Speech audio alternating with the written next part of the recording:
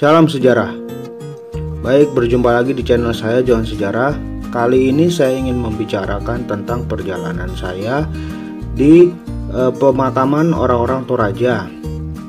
Saya mengunjungi salah satu pemakaman orang Toraja yang terletak di Sangala, yakni pemakaman Suaya. Di pemakaman ini terdapat suatu tebing yang tinggi dan di sisi-sisinya banyak lubang-lubang berbentuk kotak yang digunakan sebagai tempat menaruh jenazah orang yang sudah meninggal. Semakin tinggi lubang tersebut, maka menunjukkan tingginya derajat orang yang e, dikuburkan di dalamnya. Nah, di sisi-sisi dari e, tebing ini terdapat deretan eh, patung-patung e, lama yang dalam istilah orang Toraja disebut tahu-tahu. Nah, tahu-tahu ini merupakan eh, personifikasi dari orang yang sudah meninggal.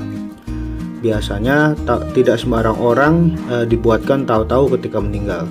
Hanya orang-orang yang e, mempunyai kedudukan tinggi seperti tokoh agama, tokoh pemerintahan, e, atau tokoh adat yang dianggap penting dan kemudian e, layak dibuatkan tahu-tahu dan biasanya membuat tahu-tahu itu didahului oleh suatu uh, serangkaian ritual yang uh, mahal sekali harganya.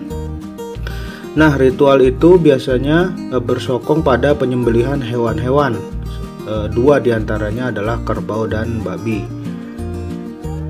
Dua binatang ini uh, bernilai tinggi di Toraja. Tidak jauh dari uh, tebing tersebut terdapat suatu bangunan lama yang berisikan eh, peti-peti mati orang Toraja masa silam. Nah, di Toraja peti mati ini bernama erong. Biasanya erong dibuat atau diukir menyerupai binatang-binatang ternak seperti babi atau kerbau. Nah, erong ini sudah berumur ratusan tahun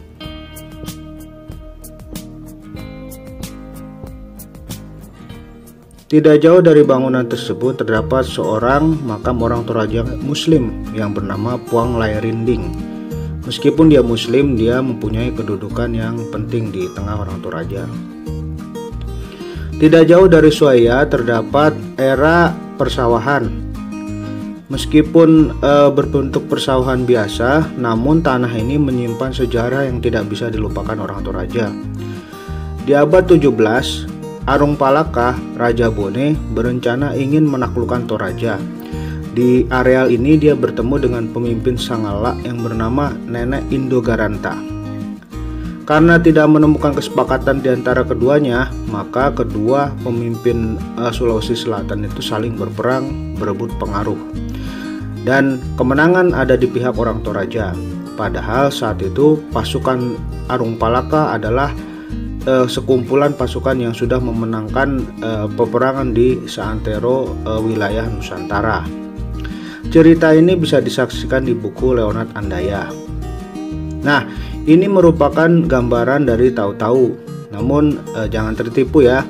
Ini hanya uh, gambaran tahu-tahu yang dijadikan souvenir. Saya memberi souvenir ini di Tongkonan Nangala Toraja Utara.